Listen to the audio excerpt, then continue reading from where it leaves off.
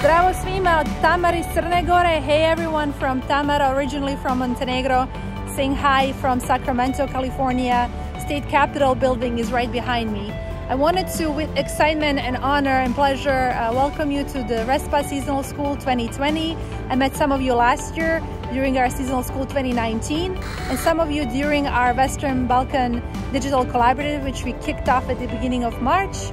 This year we have awesome new curriculum. We are again joining team of experts and trainers and coaches from USA and Europe. We'll be talking about digital service, modern digital service delivery methodologies and having a hands-on kind of practical um, exercises.